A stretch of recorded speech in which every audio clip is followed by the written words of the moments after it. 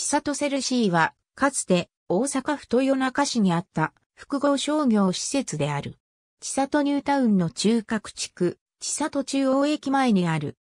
ローマにあるコロッセオを模した作りとなっており、ショッピングモールのほか、屋外にあるセルシー広場では、週末や休日を中心に、アイドルや歌手によるコンサートなどのイベントがたびたび行われ、全国規模のツアーの会場として選ばれるケースも多かった。1972年11月15日開館。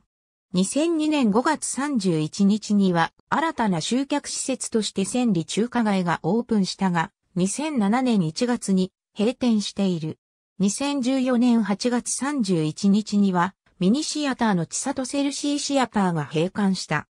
2016年6月以降、施設側から店舗に賃貸契約を更新しないという通知が届いている。これを受けて同年末で半数近い店舗が閉店し、2017年春以降にはさらに閉店する店が出る可能性があると報じられている。MBS の取材によれば、建物の老朽化による耐震強度の低下が理由とされているが、店主たちとの話し合いは一切持たれていないという。2019年5月31日をもって、すべてのテナントを退去させて閉館することを発表。後継施設については隣接する千里阪急と一体とする再開発も検討中とのこと。ありがとうございます。